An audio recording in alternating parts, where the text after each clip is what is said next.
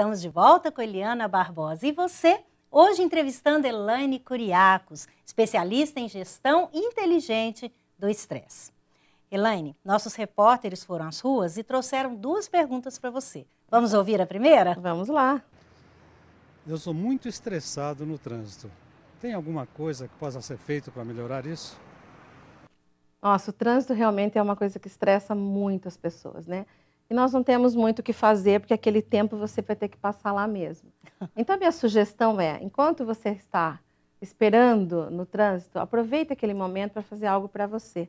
É uma respiração que você pode, né? Tem uma dica que eu dou assim, colocar a mão na nuca e na testa, imaginar uma cor e tomar um banho daquela cor. Então, enquanto você vai respirando, né, você vai recebendo aquela cor, porque a cor ela tem um, um sentido calmante dentro de nós e a cor que você vai visualizar é aquela que vem, que você está precisando, né, pela medicina chinesa naquele momento. A respiração acalma. Então imagina que você vai soprar uma vela sem apagar. Solta o ar bem devagar, enquanto toca a nuca e a testa e mentaliza essa cor. Essa é uma dica que acalma.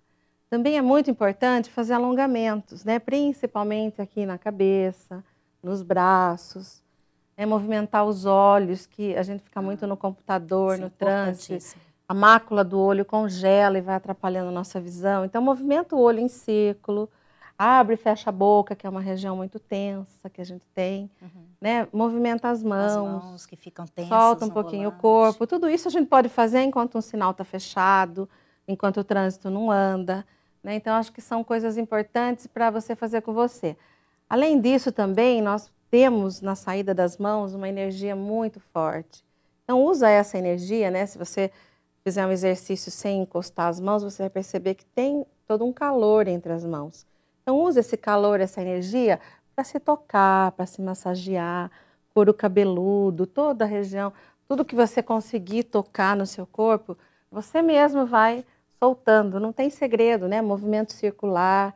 Tem lugares que dói, você pode apertar, segurar, até soltar, até relaxar. Então vai tocando, vai soltando todo o seu corpo. Você é muito importante, merece esse cuidado.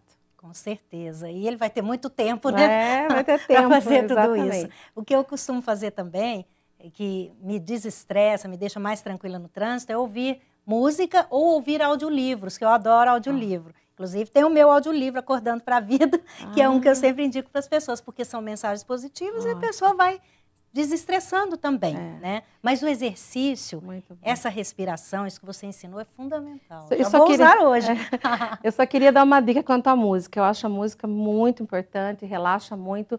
Só cuidado com a música que você escuta. Ah, ótimo. Porque Explica às vezes, gente, às vezes é você está colocando lá uma música, vamos dizer assim que você gosta de um pagode, uma dança, um ritmo mais rápido.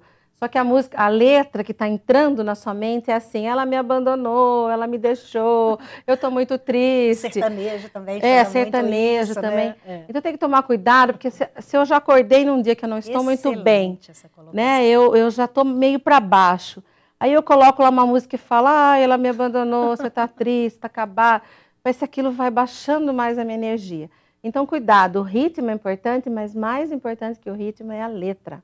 Porque aquela, aquelas palavras é que vão entrar em você. Então, cuidado, porque a palavra tem um poder muito forte dentro de nós. Presta atenção na, na letra. Dica. Tá ouvindo? Fantástico, uhum. muito bom, Elaine. É isso mesmo. Vamos ouvir a segunda pergunta? Isso, vamos lá. Vamos lá. É, eu estou prestando vestibular e eu estou muito estressada, muito aflita. Você tem alguma dica para me dar? Uma dica que eu te dou é sempre, quando você estiver fazendo o exame, olhar para cima e para a esquerda. Quando você olha para cima e para a esquerda, você lembra de tudo que você armazenou no seu cérebro. Tem que estudar, né? Uma coisa importante é a disciplina, né? Estudar todos os dias, ter disciplina no estudo, isso é fundamental. Agora, mais importante que tudo isso é você ter a certeza dentro de você que você está realmente querendo fazer esse curso por você, que essa é uma escolha sua.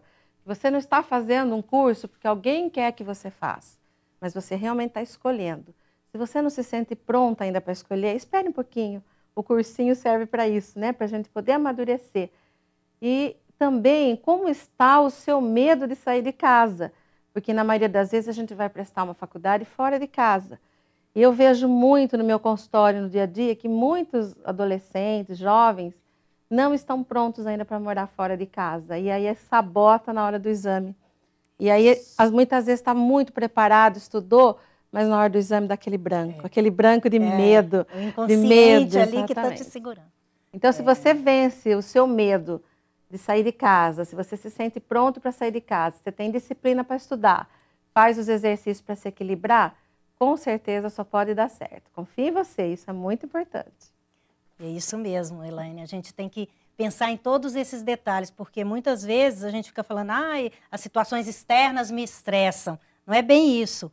O que a gente tem primeiro é um estresse interior, né? De, de, situações que a gente vai criando e às vezes a gente a pessoa não gosta dela mesma, a pessoa briga com ela mesma e esse estresse começa aí. Aí relaciona mal com a família e aí sai de casa triste, chateado e vai produzir muito menos no trabalho. É. E é lógico que vai estressar mais ainda.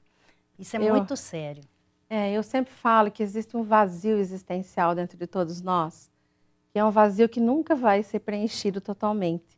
E esse vazio existencial, em umas pessoas é mais forte que em outras, é mais perceptível que em outras. Mas o problema é que enquanto você está focado nesse vazio existencial, você não consegue olhar para tudo de bom que você tem, é, tudo que você já fez na vida, né? Uhum. Então, eu, eu sempre falo assim, fica aquele vazio, você fica focado só lá. Então, veja no seu dia a dia, né? Eu sempre, o Minarelli que fala muito isso, faz um inventário da sua vida, escreve tudo que você já fez, lembra de tudo de bom que você é, dos seus talentos, capacidades, tudo de bom que você já fez na vida, né? E vai focando nas coisas boas e não no, nesse vazio existencial que é tão ruim. Porque todos os problemas, eu acredito muito, começam dentro de nós. Né? Se a gente é uma pessoa bem resolvida, se a gente se gosta, se a gente está bem com a gente mesmo, se aceita. Uhum. Porque, lógico, né? A gente gostaria de ser perfeito. Claro, Quem que não gostaria? É, lógico. Né? A gente gostaria de ser aquele modelo de perfeição, mas nós não somos. Então, o primeiro passo é se aceitar como é. Você está bem com você mesmo e se aceita, você está mais satisfeito e, portanto, seus relacionamentos vão ser bem melhores, né? Com certeza, porque insatisfação também leva ao estresse, né? Nossa, muito. Essa falta de gratidão. Muito. Então vamos agradecer mais pelo que a gente tem e viver de uma forma muito mais plena. Pois é, daqui a pouquinho a gente volta e a Elaine vai continuar falando até como ela trabalha para melhorar a vida das pessoas dentro das empresas. Voltamos já.